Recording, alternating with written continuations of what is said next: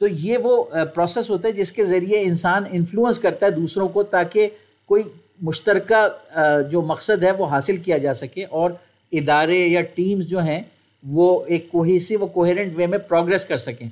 Ralph Nader ने ये कहा कि और ये मेरी फेवरेट है I start with the premise that the function of leadership is to produce more leaders not more followers यानी जो अच्छी लीडरशिप होती है, वो ज़्यादा फॉलोअर्स नहीं बनाती, बल्कि और लीडर्स बनाती है।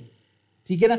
दूसरी बात यह है कि most dangerous leadership myth is that leaders are born that there is a genetic factor to leadership that's nonsense in fact the opposite is true leaders are made rather than born ठीक है? तो तो point ये है कि leadership की जो qualities हैं ली आया कॉकन ने नाइन सीज ऑफ़ लीडरशिप बताए हैं जिसमें curiosity creativity communication character courage conviction charisma competence common sense तो तो लीडर जो है, उसके एक्शंस जो है, वो इंस्पायर करते हैं। और इसलिए कहा जाता है कि action speak louder than words सिर्फ़ ये किसी से कह देना कि अच्छा करो, नहीं।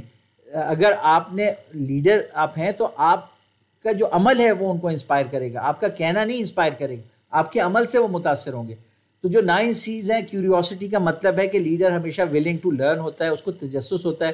क्रिएटिविटी का मतलब है कि वो इनोवेटिव होता है out of the box thinking करता है। वो willing to try new things होता है। कम्युनिकेशन का मतलब है कि लीडर अपने अपने मैसेज को क्लियरली आर्टिकुलेट करता है और दूसरों को भी समझता है। यानी कम्युनिकेशन टू वे है। लीडर समझता भी है दूसरों की बात को और अपनी बात दूसरों तक पहुंचाता भी है।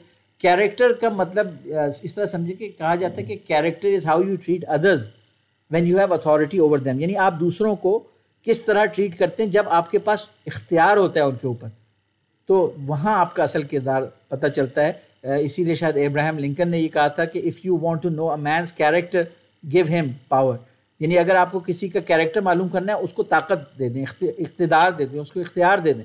जिस तरह वो इख्तियार, इकतदार और ताकत में वो बिहेव करता है, वो उसका असली कैरेक्टर है।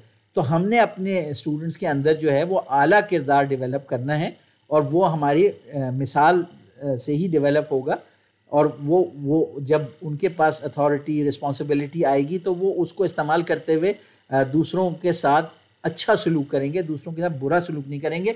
अगर वो अच्छा सलूक करेंगे तो इसका मतलब है उनका कैरेक्टर अच्छा है। अगर वो बुरा सलूक करेंगे, इसका मतलब है उनका कैरेक्टर बुरा है। करेज करेज का मतलब ये है कि आप डरते नहीं हैं किस सेंस में? इस सेंस में कि आप उस वक्त भी सच बोलेंगे जब आपको नुकसान पहुँचने का खतरा हो। ये होती है करेज करेज ये नहीं होती कि आप दूसरे को पछाड़ देंगे। कन्विक्शन का मतलब ये है